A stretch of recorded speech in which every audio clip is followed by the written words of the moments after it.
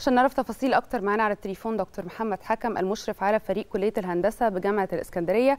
صباح الخير على حضرتك وطبعا ألف مبروك. لكن بعد التحية وإحنا بنتكلم على 10000 فريق من 110 دولة أعتقد حجم تحدي وحجم منافسة كبير جدا.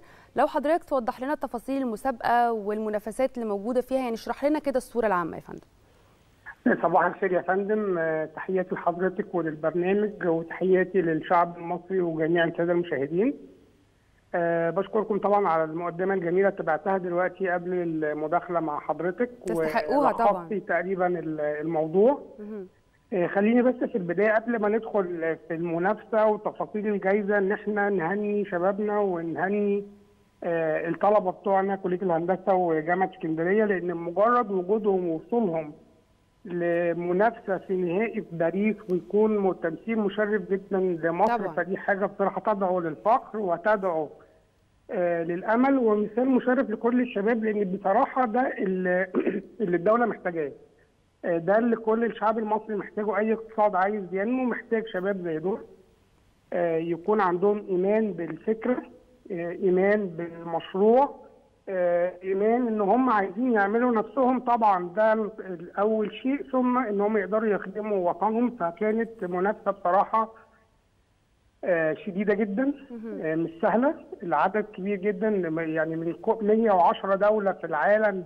كل دولة بتشارك بعدد كتير من الفرق أو من الشباب اللي حابة إن هي تدخل في مجال ريادة الأعمال وتبدأ تنفذ مشروعات. يمكن حصل أكتر من فلتريشن أو تصفية للفرق المتقدمة ويمكن كان بداية التتويج بالفوز لما شبابنا في جامعة اسكندرية في شهر مايو الماضي حققوا المركز الأول في مسابقة قمة مصر للمشاريع الاستثمارية.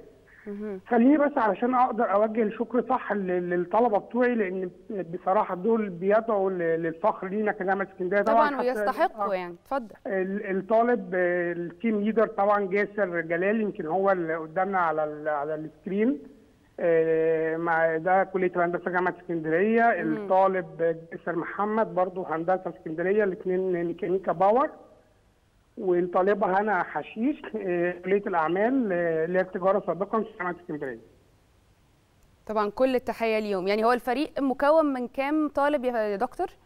الفريق اللي شارك ووصل لل final ثلاث طلاب، اثنين هندسة وطالبة من كلية الأعمال. حقيقة يعني وإحنا بنتكلم على فريق مكون من عدد قليل من الطلاب إنه يقدر ينافس آه هذا العدد من الفرق أو الفرق كمان اللي بتتعامل في نفس المجال ويقدروا يحققوا هذا آه المركز ده يعني إنجاز كبير جدا. أنا بشكر حضرتك جزيل الشكر دكتور محمد حكم المشرف على فريق كلية الهندسة بجامعة الإسكندرية. وبشكر حضرتك كمان تحديدا إنك كنت مصر إن أنت تشكر الطلبة على مجهودهم وإن أنت كمان يعني آه تثني على أدائهم. بشكرك مرة ثانية